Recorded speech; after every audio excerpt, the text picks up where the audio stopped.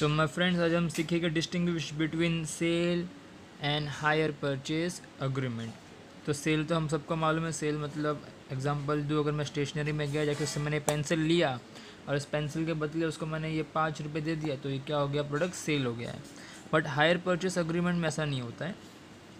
अभी यहाँ पर मैंने उससे ये पेंसिल ले लिया स्टेशनरी वाले से तो इसका मतलब ये हो गया कि पेंसिल का पोजेशन ही नहीं पेंसिल की जो ओनरशिप है वो भी मेरी हो गई है। मतलब सिर्फ़ पेंसिल मेरे हाथ में नहीं है ये पेंसिल की जो ओनरशिप है, वो भी मेरे हाथ में आ गई है। हायर परचेस अग्रीमेंट इसका एकदम अपोजिट होता है सेल का।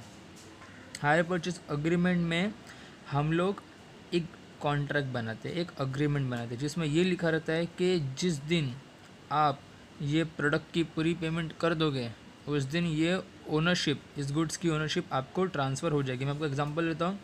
अभी आपने एक कार को परचेज़ किया इंस्टॉलमेंट बेसिस पे। कार की वैल्यू टेन लाख रुपीज़ आपने बोला हर महीने एक एक लाख रुपए पे करूँगा मैं। तो यहाँ पर जब आप लास्ट इंस्टॉलमेंट पे करोगे मतलब वो दसवा इंस्टॉलमेंट जहाँ पर टेन लाख रुपीज़ पूरा कंप्लीट हो जाएगा, उसी दिन वो कार की ओनरशिप क्या होगी, आपको ट्रांसफ़र होगी। तो ऐसे अग्रीमेंट को हम क्या बोलते हैं? हायर परचेस अग्रीमेंट जहाँ पे आपको जिस दिन आपने वो गाड़ी को परचेज़ किया, उस दिन आपको उस गाड़ी की पोजेशन मिल जाएगी। मतलब वो कंपनी वो शोरूम आपको वो कार दे देगा पोजेशन दे देगा, पर ओनरशिप कब देगा? जब आप पूरा का पूरा पेमेंट करोगे।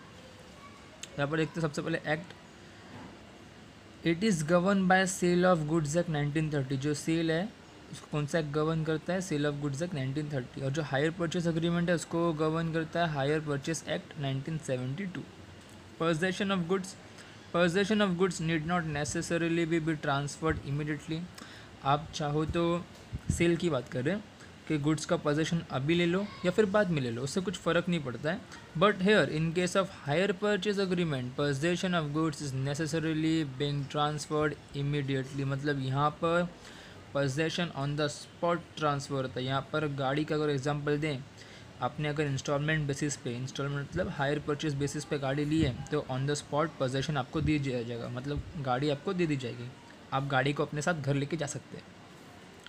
Transfer of ownership ownership of goods is transferred immediately on the spot ownership transfer होता है मेरे दोस्तों ऑन द स्पॉट अभी गया, पाँच रुपये दिया, ये पेंसिल लिया ओनरशिप किसके हाथ में आ गई? मेरे हाथ में आ गई मेरे दोस्तों. Ownership of goods is transferred on the payment of last instalment जिस दिन आप गाड़ी की आखिरी किस्त भरोगे, उस दिन ओनरशिप आपको ट्रांसफ़र होगा. उससे पहले नहीं होगा. राइट टू टर्मिनेट टर्मिनेट मतलब cancel buyer has no right to terminate the contract यहाँ पर बायर के पास कोई हक नहीं होता कि आप कॉन्ट्रैक्ट को कैंसिल करो, क्योंकि भाई कोई डिफ़ॉल्ट नहीं हुआ, कुछ ब्रिच नहीं हुआ ऑन द स्पॉट सेल होता है ऑन द स्पॉट पैसा लिया जाता है on the spot goods products दिया जाता है।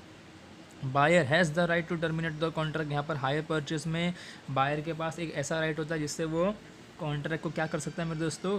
कैंसिल कर सकता है। ये राइट सेल में नहीं होता, ये राइट होता है हायर परचेज में। राइट टू रीपोजेस दी हुई चीज़ वापस लेना। राइट टू रीपोजेस मतलब दिया हुआ चीज़ वापस लेना। Seller has no right to repossess the goods एक बार गुड्स बेच दिया, एक बार ये पेंसिल मैंने ख़रीद ली तो वो स्टेशनरी वाला मेरे से पेंसिल वापस मांग ही नहीं सकता, मैं दूँगा भी नहीं। The seller has the right to repossess the goods hire purchase में सेलर के पास राइट होता है। अब उसने मुझे गाड़ी दे दी दस लाख रुपए की। अब उसको मैंने चार इंस्टॉलमेंट दिया। पाँचवें इंस्टॉलमेंट मैंने नहीं पे किया। छठवा भी पे नहीं किया, सातवा भी पे नहीं किया। तो जो सेलर है, वो अपने गुड्स को क्या करेगा? रीपोजेस करेगा मतलब आएगा आके गाड़ी उठा के लेके जाएगा अपने घर। Mode it is not mandatory to form a return contract और रिटर्न अग्रीमेंट बनाने की कोई ज़रूरत नहीं होती है। मतलब ये हाथ दो, ये हाथ लो। यहाँ पैसा दो, वहाँ पर प्रोडक्ट दो। लेकिन यहाँ पर ज़रूरत होती है क्यों? क्योंकि यहाँ पर पैसे की बात है, यहाँ पर ओनरशिप की बात है। ऑन द स्पॉट सब कुछ नहीं होता मेरे दोस्तों।